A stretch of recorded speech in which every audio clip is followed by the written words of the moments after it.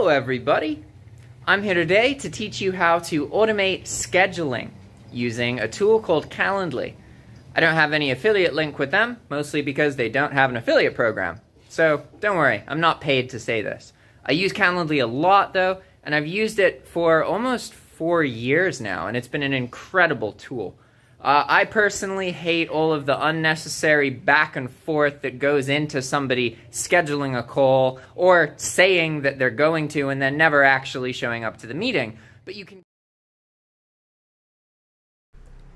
Now, let's see a Calendly link in action.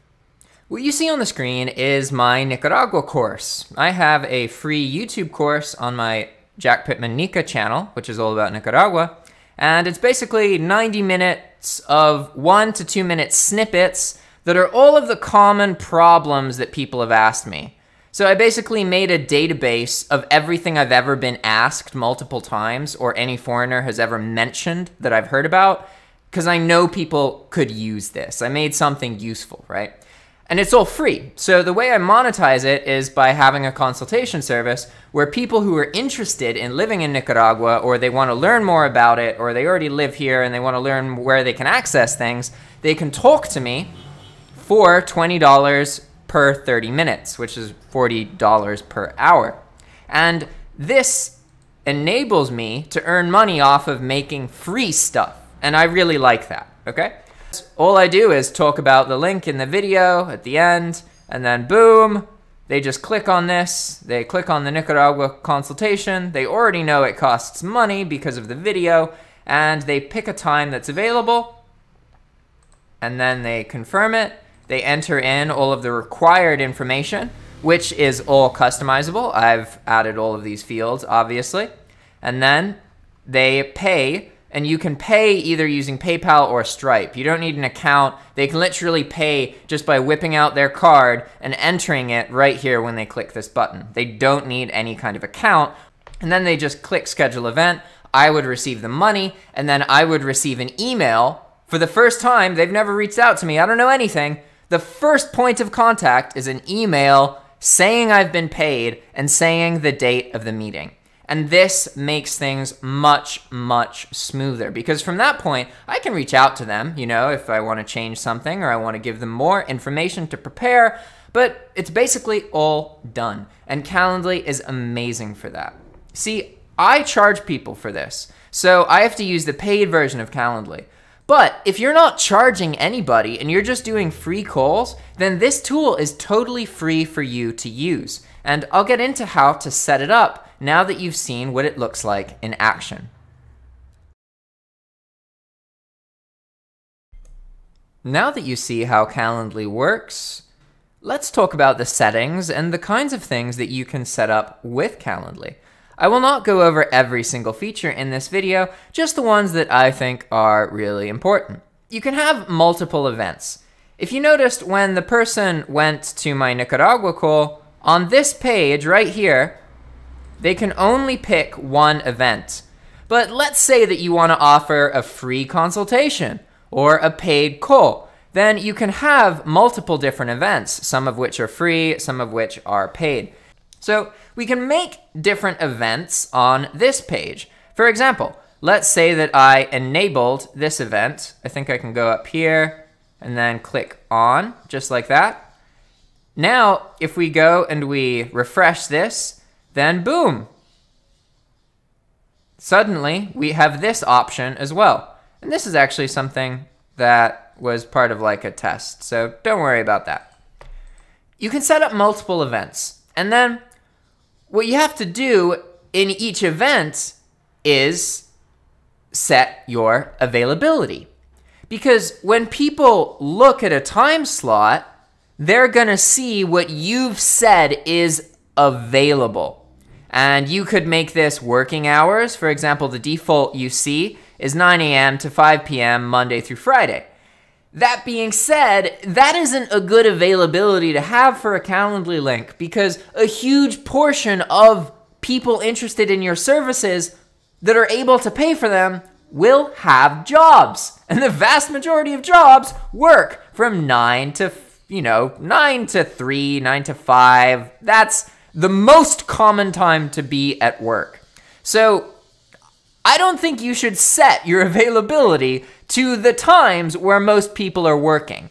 You should set your availability to times that work for you, but are available for other people. And they should not be the same every day. For example, if you have the same time window every single day, every weekday, what about the people who are in the Philippines?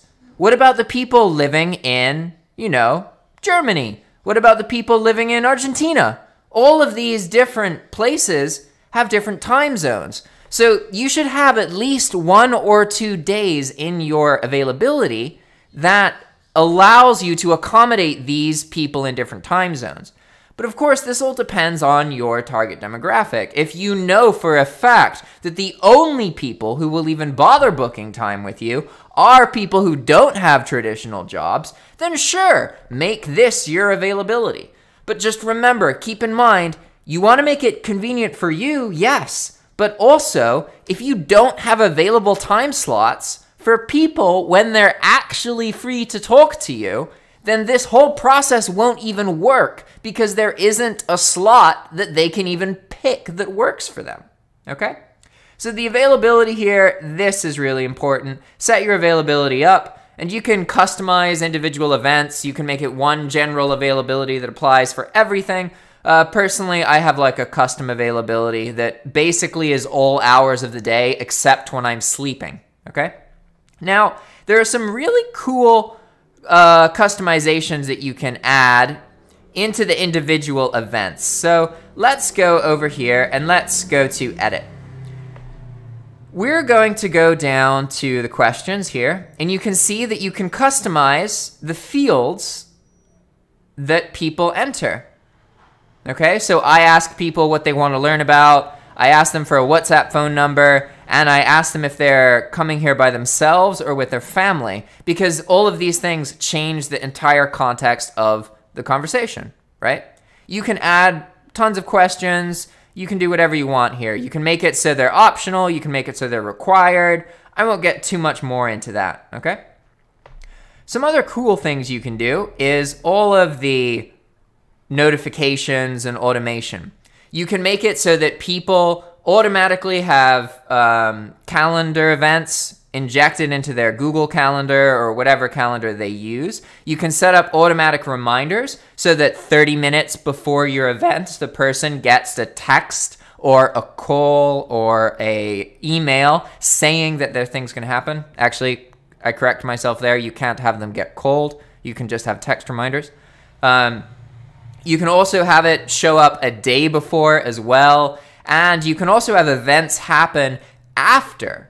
So, for example, after somebody books something, you can redirect them to a specific place. For example, for me, when they book time with me, they get sent back to this YouTube channel because it's where they came from, basically. But you could send it to any website you want. There's a lot of customization you can do here. And you can also make it so that after the call itself, they receive a follow up email that asks them for some feedback. It asks them how it went. It sends them off to some other place. There's a lot of customization that you can do here. I mentioned you can also collect payments.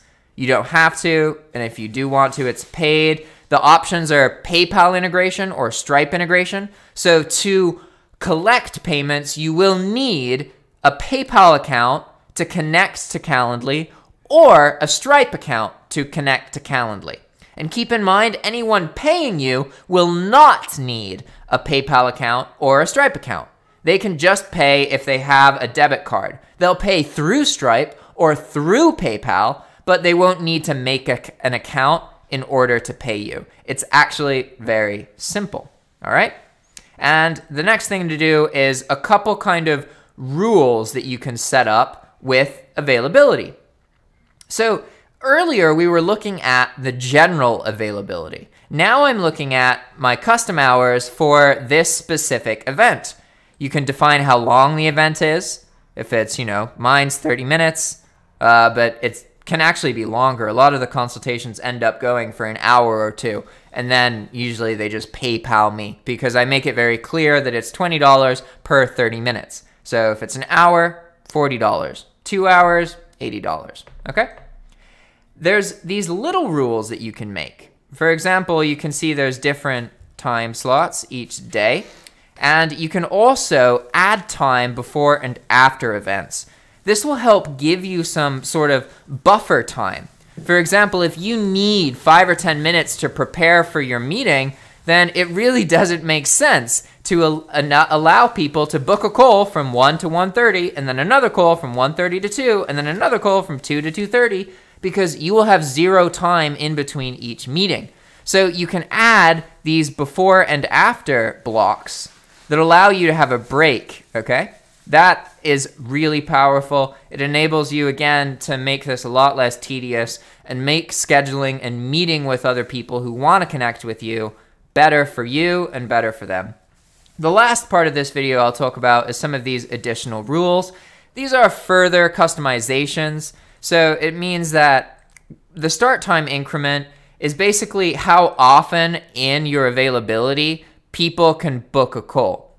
So if you have a 30 minute call and you have five hours of availability with no breaks, that means that there's 10 slots available. But if you have a 30 minute call and you set this to 60 minutes, that means that people can only book calls at 1, at 2, at 3. They can't book a call at 2:30, at 3:30, etc. Now, one of my favorite conditions is the event start time. Um, I personally don't like it when people book a call an hour from now. I have no time to prepare. I have no idea if I'm even going to see the email before the call happens. So I force people to not be able to schedule anything within at least 36 hours. So that means that if today you want to book a call with me, the earliest you can talk to me is one and a half days from now. Okay? And you can also add um, days that are a maximum, basically. So let's say you only want this to be bookable five times, but you're available any hour of any day. You can set this number to five. And that means that no matter what, once the fifth event is booked for that day, it doesn't matter that you have availability scheduled for the rest of the day. Nobody else will be allowed. All of the time slots will be closed. Okay? Then I personally recommend that you use the automatic time zone display. This means that the people will see the time zone they are in. And that just makes it easier for everybody um, you're going to see the time zone that you are in. So that can be a little bit confusing because uh, Calendly is going to show you show them their time zone and show you your time zone. So if you think you're just looking at their time zone, you might get something wrong. But don't worry about it too much. This is very, very useful.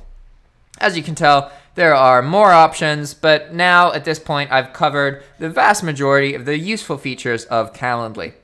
I hope you enjoyed this video, and I'll see you guys in the next one. Bye!